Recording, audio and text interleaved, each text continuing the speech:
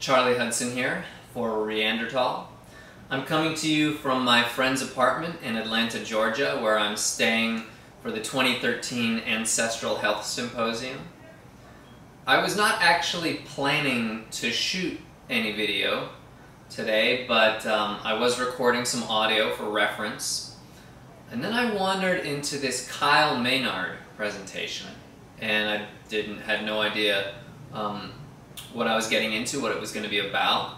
Um, and then about two thirds of the way through, I just had to get out the camera. Things just got too real and too physical for audio to do them any justice. Now there is going to be an official video. It'll probably be much higher quality um, than what I've got for you. Um, it's going to be publicly um, free and, and, open to the public.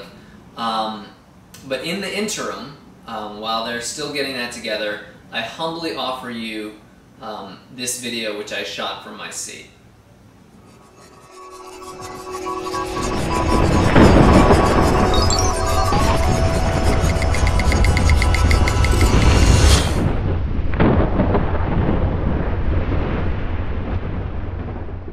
You're looking through these tree clearings though, and you're seeing on the top, and ice on the summit, so it looks like a totally different planet. And as we're going along the first couple days, we're having a good time. You know, we're laughing, joking with each other, and like, you know, I'm just walking about six to seven hours per day in this like bear crawl. And by the third day, my arms and my feet started, by the third day, my arms and my feet started swelling up a lot.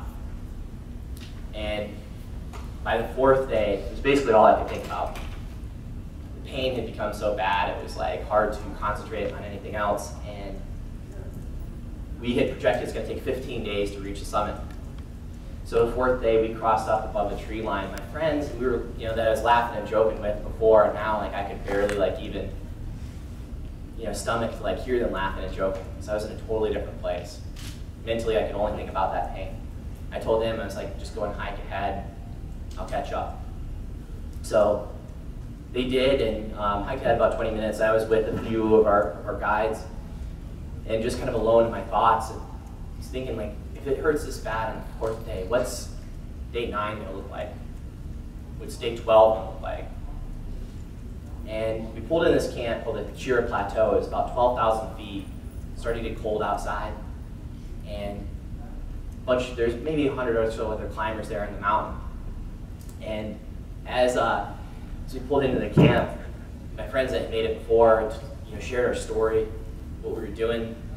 People wanted me to take pictures and stuff like that, and like normally it would have been something I would have loved to have done. At that point, like I was like, was just in so much pain. I told them I was like, I just need to be alone, and it was felt discouraged, dejected. Went and walked inside my tent, lay there by myself on top of my sleeping bag for a while, and about an hour just lay there and cried. I started thinking, I was like, one of the reasons why we were there was to provide hope for some of our heroes in the military that had sacrificed their limbs literally for our freedom. I thought this isn't going to provide a whole lot of hope for these troops now that I can't even make a third of the way up this mountain. I really started crying when I started thinking about a promise that I was close to breaking. And it was from a mom that I met out in Arizona before we left for the trip, and her name is Vicki. She'd been a mother of a Marine in May of 2011 had lost his life in a firefight in Afghanistan and saved several other Marines before he passed away. His name is Corey Johnson. She had, he had a wife and three daughters that one daughter he hadn't met yet. She'd been born after his last deployment.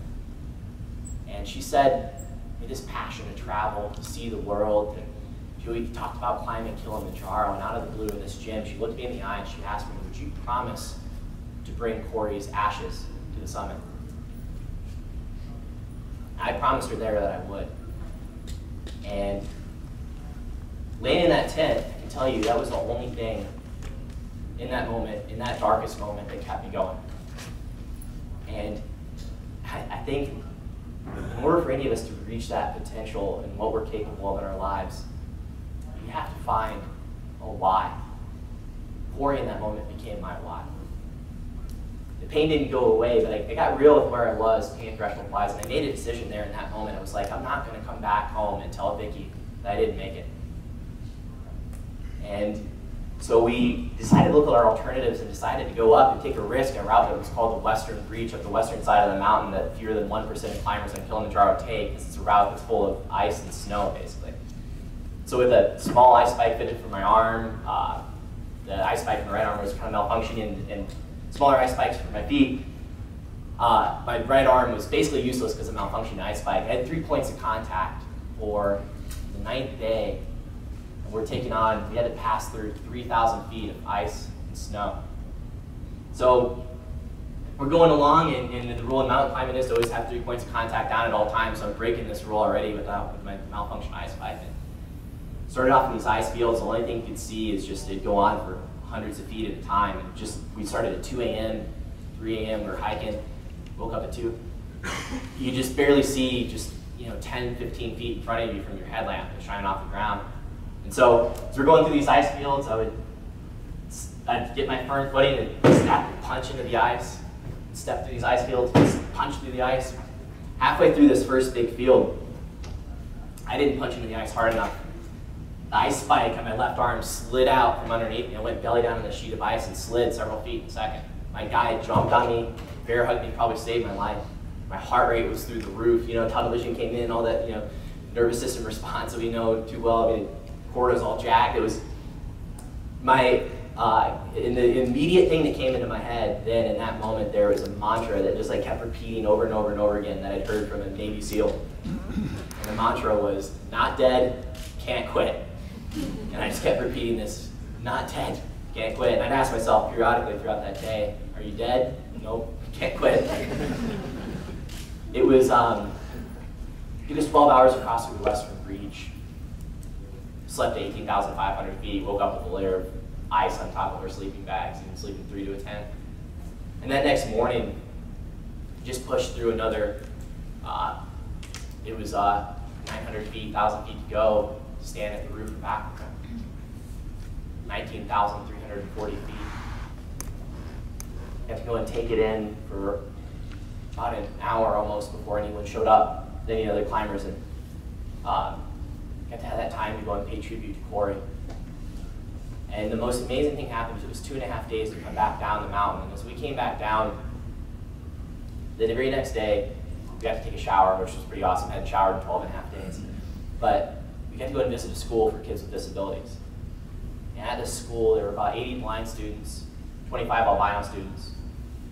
And these kids had been, because of their disability in Africa, were cast out of their families, couldn't contribute to the subsistence culture. And they were orphans, uh, unallowed to go to uh, private school because of being blind and albino. About 100 of them went and gathered around me, and I was giving them a talk translated through their headmaster in Swahili. And I was, they're about 10 years old, so I'm talking to them and you know, toned down a little bit. And we're talking about climbing this big mountain in their backyard. The kids got so excited and fired up, they just like started spontaneously on their own, like chanting something like over and over and over again. And so I was like asking their headmaster, like, what are they chanting? What are they chanting? They're chanting Swahili. So he has them start chanting in English. And what they were chanting was, anything is possible, anything is possible, anything is possible. I sat back there though, and I was like reflecting on that, and I was like, don't think this would have been possible for me if if I didn't have like Corey in that moment becoming my wife. I, I don't think that any of us can reach our potential in our lives and you know do what we're capable of doing and help the people that we are if we don't find ours. So I challenge you, you know, find your why. Find your truth and realize then think anything really is possible. Thank you guys very much.